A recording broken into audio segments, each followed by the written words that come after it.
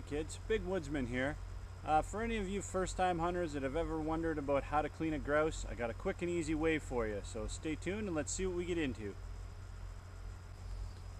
So a really simple method is to take the bird, put it on its back, take both feet on the wings, grab his legs and just give a steady pull straight up.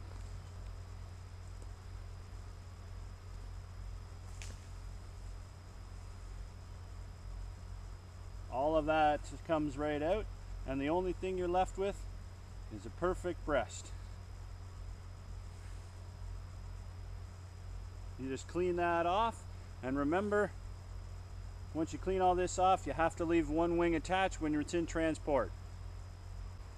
So there you have it. We've taken the other wing off right at the wing joint. We've got one wing attached for easy identification. So there you have it, a perfect grouse breast.